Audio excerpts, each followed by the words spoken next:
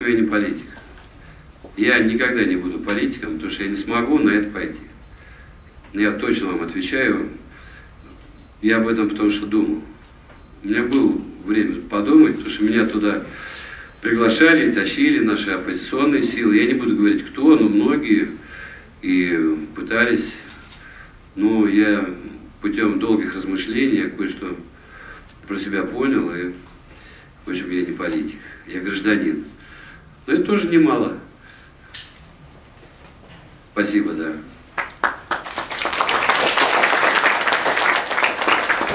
Значит, такой вопрос, а не играете ли вы сейчас э, Змей Петров? Просто это у нас сейчас год змеи, поэтому... Рожденный ползать получил приказ летать. Да. Какой летать, я, братцы, небо-то не видел. Не рассуждать, ядрена мать. Да, песня была в свое время, да. Она и сейчас ничего вроде, да. И если можно такой вопрос чуть более серьезный, вот как бы в продолжение, как я понимаю, первого вопроса, который человек задал, а, я, безусловно, ценю и как бы поддерживаю вашу гражданскую позицию. Я стараюсь не пропускать, скажем, ваши появления в эфире, например, «Эхо Москвы». А, у меня такой вопрос. Вот когда я слушаю вас, когда я слушаю некоторых других творческих людей, которые ну, не согласны с тем, что происходит в России, скажем, Артемия Троицкого, там, Дмитрия Быкова, у меня рождается такой вопрос. Хорошо, то, что вы видите сейчас, вас не устраивает. И я могу это понять, я верю. Я, к сожалению, не был давно в России, но верю. Но вы, э, вы не боитесь того, что этот протест может кончиться возвращением к чему-то, от чего мы так мучительно уходили? Конечно, конечно, конечно. Размышляем, что вот этот лозунг, лозунг э, «Долой Путина», ну, я тоже многим задавал и своим товарищам, ну, и, и многие об этом размышляют, конечно, потому что, ну, Путин, да, ну, ушел, допустим, да, там э, убрали, а что дальше? А дальше может прийти еще хуже чудовище вообще, Змей Горыныч такой. И все мы будем орать Хай Гитлер, да. То есть всяко может быть, конечно, об этом думают люди. Я и говорю сейчас, что идет, ничего не потеряно, и в прошлом году мощный был подъем, но он никуда не делся просто. Нужно развиваться дальше. И сейчас организовали КС, идет, идет какие-то движения, размышления обо всем, что произошло. Это немало, это нужно анализировать, нужно ставить новые вопросы. Э, Вот мне нравится, что много ребят, оппозиционеров стали говорить, как достучаться до сердца простого человека которые, безусловно, волнуют социальные вопросы, животрепещущие, потому что много людей живут просто плохо, экономические проблемы, такие сякие. Ну, то есть много, много хорошего произошло за прошлый год, и, и как-то многие помудрили, что ли, я не знаю. И как-то вот, вот эта горячка, эта лозунговая, она как-то, ну, исчезла, она стала уже не актуальной такой. Да все задумались над тем, что нужно долго и- трудно, и долго работать тяжело, для того, чтобы в России что-то просветлело. Это тяжелая работа, непростая, ни одного дня. Я это понимаю прекрасно. И многие, ну, потому что все идет, все идет. Я ответил, нет? То есть, ну, ну, мне вообще, многие меня считают трибуном, там, а я на самом деле это лозунги не люблю. И стараюсь даже свои социальные песни, ну, как-то, чтобы они не были все-таки такими оголтелыми плакатами. Плакаты легко писать, конечно. Ну, для меня всегда было мерилом, я уже говорил где-то, но, допустим, Пушкин, Борис Годунов, вот социалка, да? Так социалка. Да. Вот на таком уровне говорить ну, гражд- о гражданственном, да, вот это серьезно. О власти, о людях. На таком уровне. А могу я Да. спросить? А Вы сказали, когда запускали э, последнюю, последнюю эту вашу программу, значит, а, что за все время вы сделали как бы три концептуальных таких, да, есть Ну, не побоимся этого да, слова, да. чёр- черный пес Петербург, Да. э, э, мир. Мир номер ноль. Мир номер ноль, Да. и, и вот сейчас это третье. А расскажите мне, как вы для себя внутренне вообще вот определяетесь? У вас же альбомов уже гораздо больше, что вот это будет это вырастает во что-то такое монументальное. И почему вот эти три? Ну, три программы, ну, «Черный пес Петербург», конечно, это 90-е лихие. Э, послужил такой случай, я брел, не знаю куда, неизвестно зачем, еще непонятно что, чем обычно даже брат занимается, да. Правда, по, по своему посылу. Э, брел по площади Исаакиевской. И это был какой-то 91 год, и на площадь на этой вдруг вылетает вишневая девятка, что была машина номер один. И так разворачивается на этой площади, несмотря на всех ментов, выскакивает такой джигит, чеченец, и мне говорит, слушай, а это что за здание, да? Исаакиевский собор, я им отвечаю. И вот мне вот просто напомнил вот этого Евгения Пушкина. Сказал, да? И вот это Исаакий такой, гора такая, просто исторического мяса, такого костей и, и, и духа, безусловно, архитектурное пиршество. Этот чеченец такой лихой на этой девятке с багажником, ну, видно сразу полного оружия. Тогда отстреляли не стесняясь в Питере. Я такой очкарик, ешки, от жизни. А потом э, вышел на набережную, а там мент стоит, мрачно курит. И а была такая ранняя весна, и труп такой лежит, огромного такого молодца, богатыря или муромца, с, с такими русыми волосами, голубые глаза, голова такая, мент только смог ее на нижнюю ступеньку спуска в Неву гранитную положить, с аккуратной дырочкой во лбу, а ноги в воде у него. И он такой красивый свитер задрался, такой красивый, мощно сложенный чувак. Мы с ментом закурили и философствовали часа два. Жизнь от смерти, да. Мимо народ ходит, никто внимания не обращает. 91 год.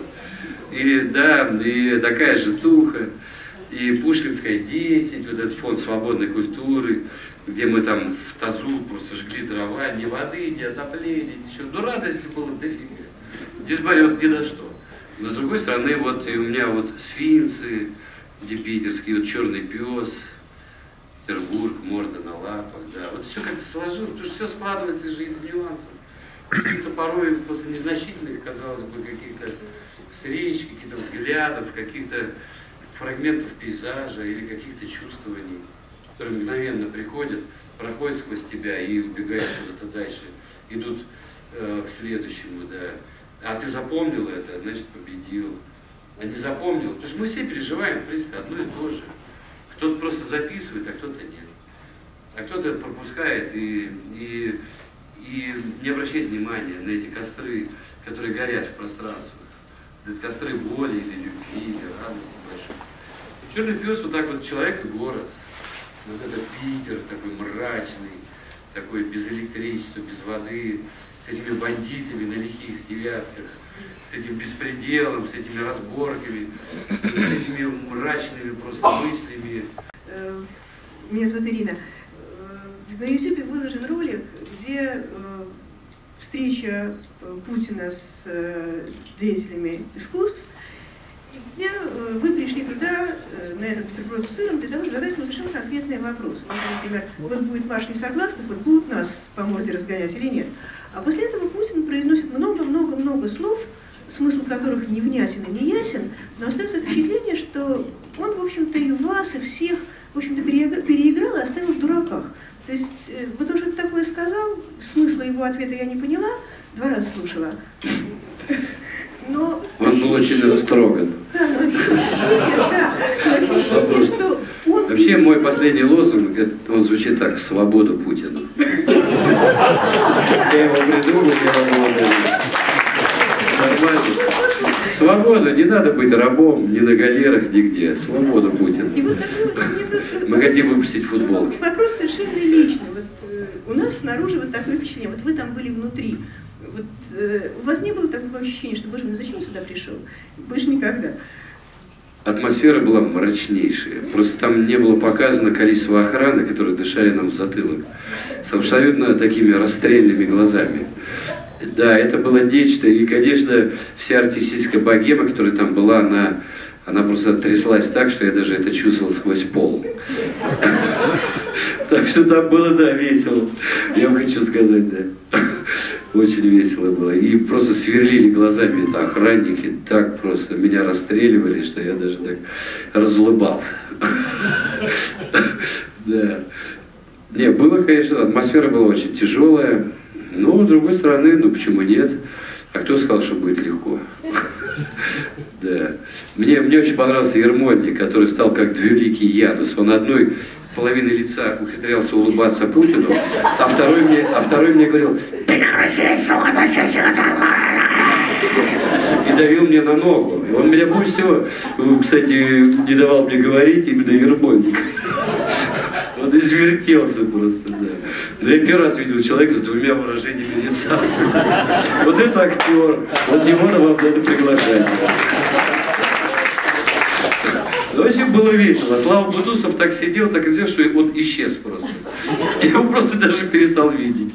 Я потом к Славе подходил, а ты куда делся? А я, говорит, сидел, но я, я не знаю. То есть было весело, да.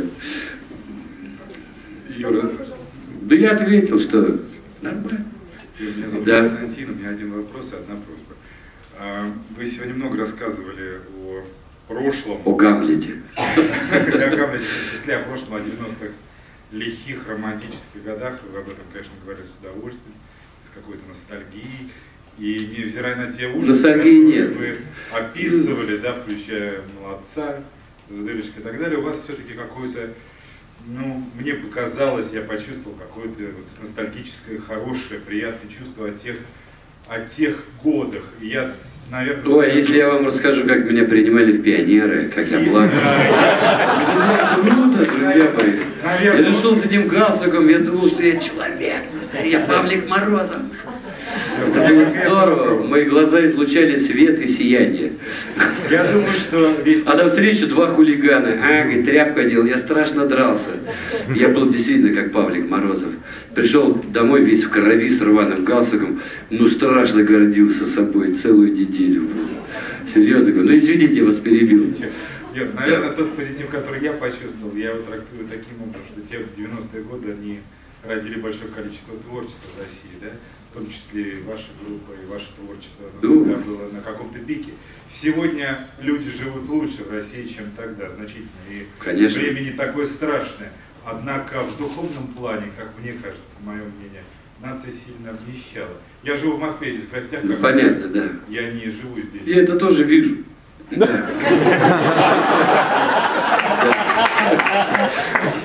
Скажите, пожалуйста, вы согласны с этим моментом, то, что сегодня происходит в России? Ну, какой-то, наверное... Я согласен, но с этим не мирюсь. Я не мирюсь. Поскольку у вас э, автобус в Бостон, почитайте, пожалуйста, стихи перед отъездом. Да как вы тоже дошли, вот... э, Ну давайте, э, ну что, стихи. Ну вот, э, может быть, мы новую песню споем вам здесь. Раз, два, три. Они взломали мой мозг, но ничего не нашли. Мой мозг аптечный киоск, он далеко от земли. В моей нелепой башке жил большой океан. Чтобы он не достался врагу, я вывернул кран. Возьми мое сердце, там еще тепло. Ну и так далее. А потом в конце. О-о-о-о! Ну это мы споем, хорошо.